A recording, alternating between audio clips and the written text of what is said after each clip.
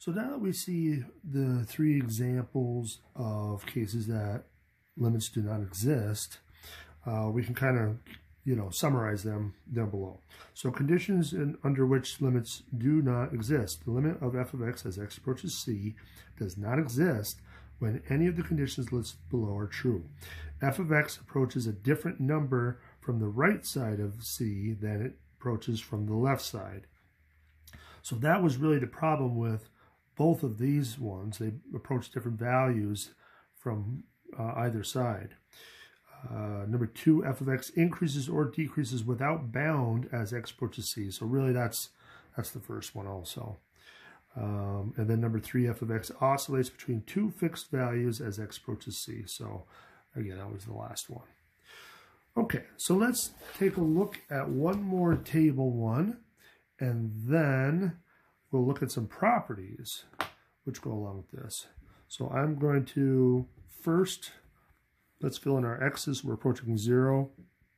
So we'll be a little bit smaller, a little bit larger, and we'll lose a zero and another zero.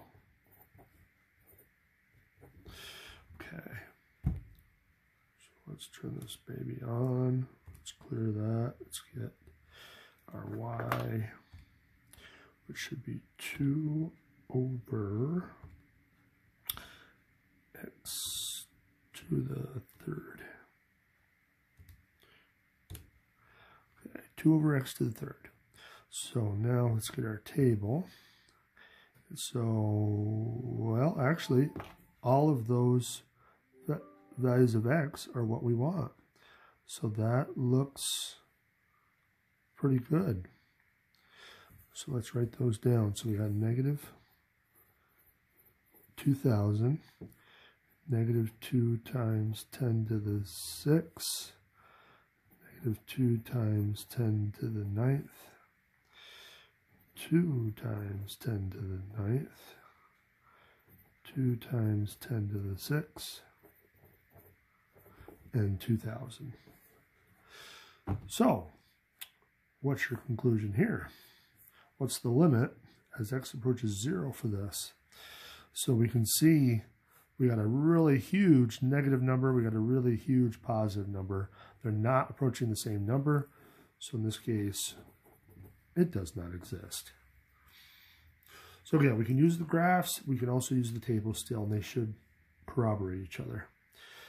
All right, so now this next part gets into the properties of limits and direct substitution. So we didn't really itemize that or, or you know point that out specifically, but there's going to be cases where we can just directly substitute the number in and we'll get the limit out of it. So here's some cases where that is going to happen. So if we have the limit of b as x approaches c, that limit should be equal to b. And the reason why is because what does that function look like? b is a constant. So if you have y equals b, that's going to be a horizontal line. So no matter what value of x you're approaching, it's always at that same value of b. So that's why that limit is the way it is. if we have the function y equals x, well, we know y equals x is just a diagonal line. So no matter what value of c you are, if you have a value of c here, you're going to have the corresponding y value is going to be the same, the same value. So, so no matter what value of x you have, you're just going to plug that value in, and that will be your limit. Very similar for x to the n power, you're just plugging it in, and for square roots, the same thing, you plug it in. So those are some basic limits that we can now use. And then some other properties of limits. If we have a constant times a function, we can just multiply the constant times the limit. If f, the limit of f of x is equal to L, and the limit of g of x is equal to k, so we can just multiply the constant times the limit. Same thing here. If we're adding or subtracting two functions, and we're taking the limit, the limit's could be the sum or the difference of those actual limits. Product will give us the product, quotient will give us the quotient, power will give us the power. So again, very straightforward um, properties that we can see with limits.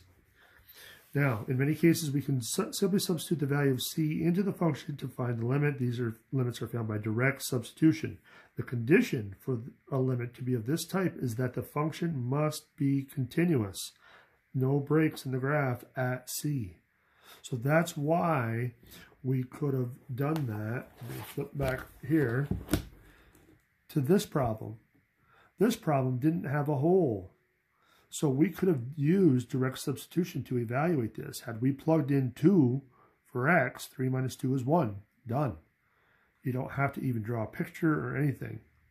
But the only reason why is because there's no holes at x equals whatever you're approaching. So we're going to see that in action right now. So um, again, a couple more properties, but they're really essentially the same types of things we've seen already.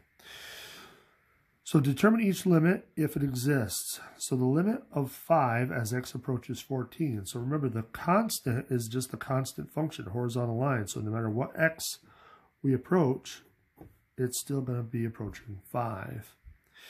Here,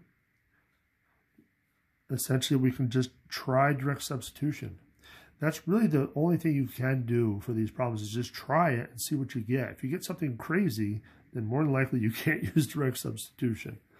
So let's see what happens if we just substitute it in. So we got the square root of 5 times 3 squared minus 9, which is the square root of 45 minus 9, which is the square root of 36, which is 6. Nothing really seems out of the ordinary with that. So, you know, if we wanted to graph this, we could see that it's going to give you a continuous graph. There's not going to be any holes in it or anything. There's no fractions or something. So more than likely this is your limit. You're done. Let's see what happens with this one. So we're approaching 0. So we have 3 times 0 minus 1 over 2 times 0 plus 5.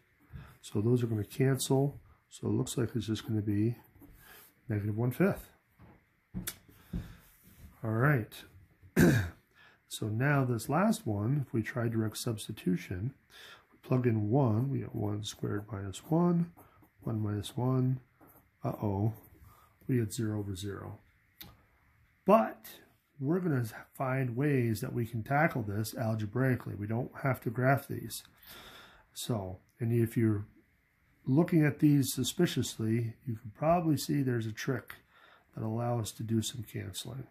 But we're going to explore that in much more detail in the next section. So, see you in the next videos.